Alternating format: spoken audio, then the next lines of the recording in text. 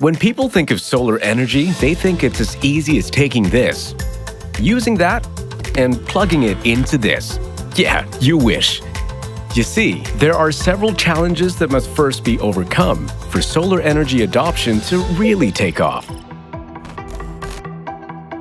For most building owners that want to generate and use solar power, the main challenge comes from finding the right operating and business models suitable for their building.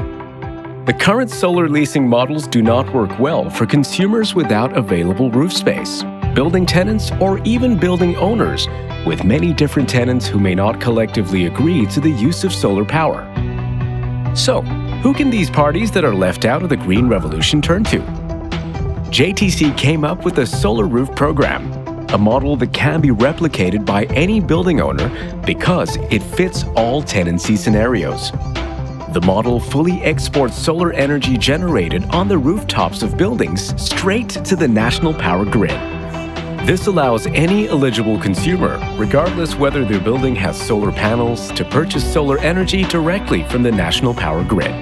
JTC is implementing this model across more JTC buildings, which will supply more clean energy to the market.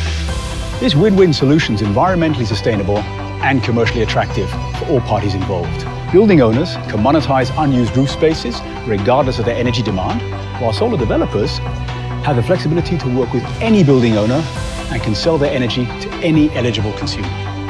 With this program, JTC has opened many doors for both solar consumers and businesses. I like it.